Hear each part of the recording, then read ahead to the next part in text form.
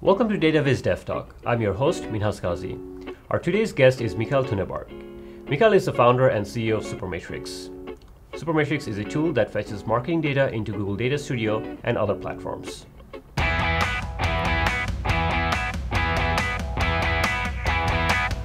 Mikael, welcome to the show. Thank you. Great to be here. So, Supermetrics and Google Analytics and its developer relations team have a long history. And I've heard that there was also a t shirt involved somewhere there. Can you tell our audience about that entire story? Sure. Several years ago, I was working at the marketing department of a gaming company, and my job there was to re- do reporting on our marketing activities. But a large part of my time went into copy pasting numbers from Google Analytics and other sources into Excel, and that was really time consuming and boring. So when the Google Analytics API came out, I figured I could use that to automate that process. And I did some googling around the issue and I found a forum post by Nick Mihailovski, who is now Data Studio PM, saying that the first person who integrates the Google Analytics API with Excel gets a free Google t-shirt. And I figured that's perfect. I get to solve my own problem and I also get a free t-shirt. So I did a small script that solves that issue, and, and I shared that with Nick, and uh, Nick said that's good, and, and he sent me the T-shirt.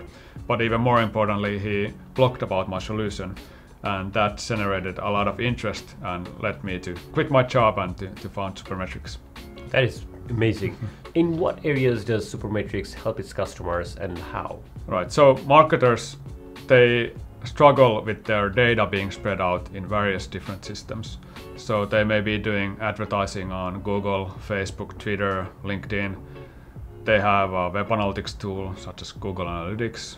They have a CRM, various other systems where they have their data and getting the full picture is difficult. Many marketers they still rely on a manual process of getting this data together, so they may be doing copy pasting into Excel like I was doing. They may be downloading CSVs and manually merging those together, or they may have hacked together some scripts that are unreliable. What we do is we automate that process for them. So we have built high quality integrations to all of these different advertising and marketing uh, tools, and we get that data together and, and put that data or make the data available in the tools that marketers generally want to use, such as Google Sheets, Google Data Studio, Excel, and others. How is Supermetrics relevant for your customers? You mentioned that Supermetrics is pulling in data from um, all of these different sources and um, making it available on the tools.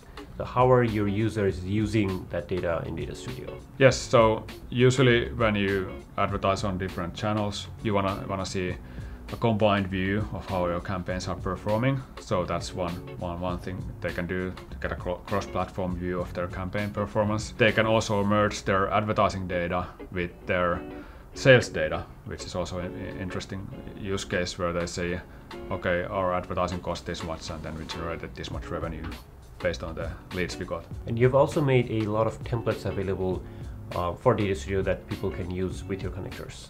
Yes, so what we do when we create a connector, we also want to create a high quality template to go with that connector. So it's really easy for users to get started. So when you start using any of our connectors, there's a pre-made template that is populated with your data. So you immediately see how, how your data looks like.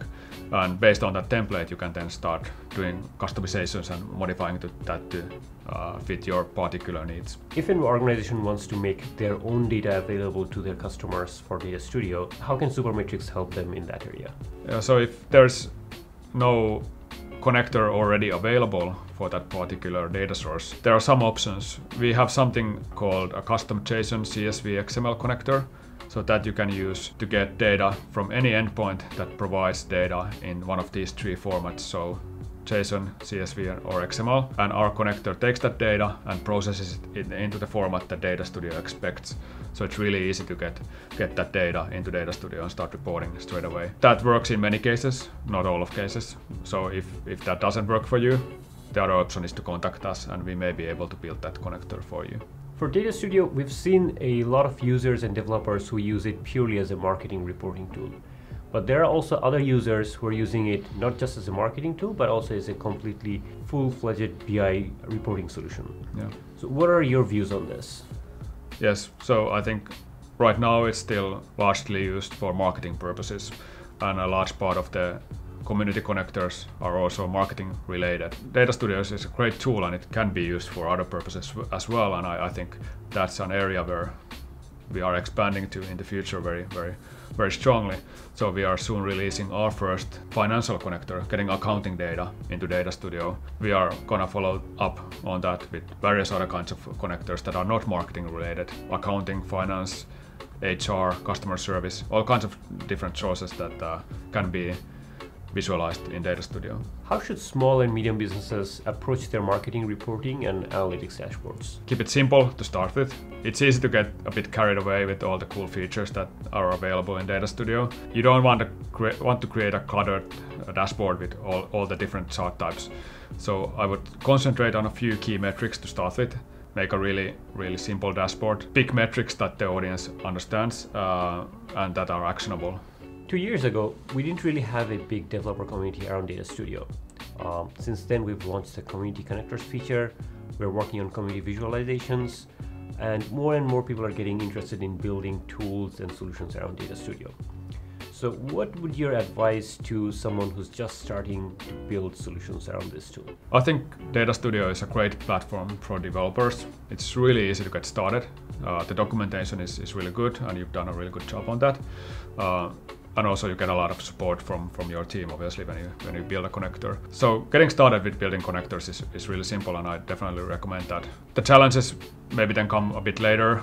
Data studio has a large user base in the millions. So if your connector really takes off you may get a lot of users and that brings new challenges that you then need to tackle such as uh, how do you handle the traffic uh, flows with the rate limits that are in the data source APIs that you connect to, so you don't go over, over any, any limits that are in the source APIs. You need to do a lot of caching in different places to, to tackle that.